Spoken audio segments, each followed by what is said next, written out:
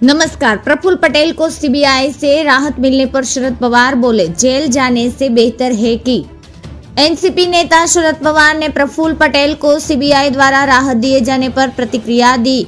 शरद पवार ने कहा कि प्रफुल्ल पटेल को क्लीन चीट मिलेगी ही।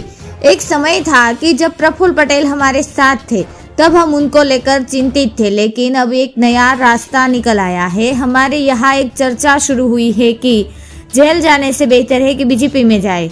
सादारा में पत्रकारों को संबोधित करते हुए शरद पवार ने दिल्ली के सीएम अरविंद केजरीवाल की गिरफ्तारी पर इंटरनेशनल मीडिया कवरेज को लेकर भी चिंता जताई।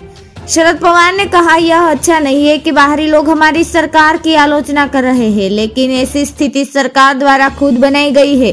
केजरीवाल का अपराध क्या है? दिल्ली देश की राजधानी है और इसके सीएम गिरफ़्तार है। धन्यवाद।